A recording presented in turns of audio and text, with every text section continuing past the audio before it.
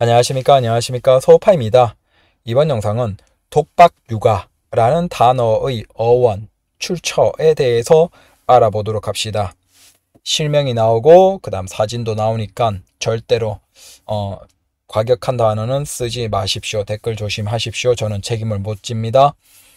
자, 우리가 그냥 생각하면 독박 육아라는 단어가 음, 여자분들이 혼자 아이를 키우면서 그 힘든 삶에 대해서 자조하는 목소리 그게 우리 예전의 부모 세대에서 자연스럽게 어, 얘기되면서 나온 자연스러운 단어가 아닐까라고 생각하지만 사실은 그렇지 않습니다. 이 독박 육아라는 단어는 음, 자연스럽지 않게 나왔다라고 할 수 있습니다. 내용은 요건 출처가 뉴시스 인터뷰 기사 중에 나옵니다. 최근에 유행하는 독박 육아라는 말도 저희가 썼다. 직원들이 대응책을 마련하면서 언론이 쓰기 시작하고 이제는 독박 육아라는 말을 많이 쓴다. 이런 게 바로 담론을 만들어가는 과정이다 라고 어느 분이 인터뷰를 하셨습니다. 누구냐? 밑에 링크 걸려 있습니다. 뉴시스 기사이고 인터뷰 정현백 여가부 장관 여성 혐오 적극 대응 필요 시작은 말 걸기 이게 2017년 9월 24일 입니다. 2017년 그때 대통령이 바뀌고 당선이 되고 난 후겠네요. 네. 그리고 이분은 네, 여가부 장관으로서 그때 단어를 만든 건지 아니면 나중에 네, 만든 건지 모르겠지만 이분은 여성운동 데모라고 불리면서 많은 실천가로 살아왔다라고 합니다. 그래서 이분을 2017년 9월 그 여가부 장관 접견실에서 만나서 현안에 대한 얘기를 한 인터뷰 기사입니다. 그 중에서 나온 얘기예요. 그래서 최근에 유행하는 독박 육아라는 말도 저희가 썼다. 직원들이 대응책을 마련하면서 언론에 쓰기 시작하고 이제는 독박 육아란 말을 많이 쓴다. 이게 바로 담론을 만들어가는 과정이다.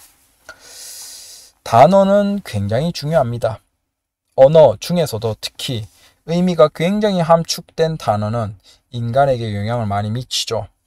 이게 어떤 이념의 분들이 굉장히 이 단어를 통한 네, 영향력을 많이 행사하는데 기술이 좋죠. 그래서 결론은 독박육아라는 단어는 네, 자연스럽게 우리 부모 세대에서 어머님들이 아이를 혼자 키우면서 힘든 과정에서 나온 단어가 아니에요. 인위적으로 네, 어떤 분들이 노력해서 이 단어를 많이 쓰게 된 것이다. 라는 겁니다. 물론, 아이를 키우는 데 있어서 남자들이 많이 도와줘야 되지 않냐? 라는 주장에 대해서야 뭐 존중할 수 있습니다. 하지만, 반대로 우리가 질문을 한번 해보고 싶은 게 맞아요. 여자분들이 차별을 받고 있다라면 그 차별은 저는 반대합니다. 우리 모두 남자들은 반대합니다. 여자분들도 차별을 받지 않았으면 좋겠습니다. 그런데 징병에서 남자만이 의무가 있는 것은 법적으로는 대한민국 국민 모두 국가를 지키기 위한 의무가 있습니다. 그런데 징병에서 남자만 실제 의무를 지고 있죠.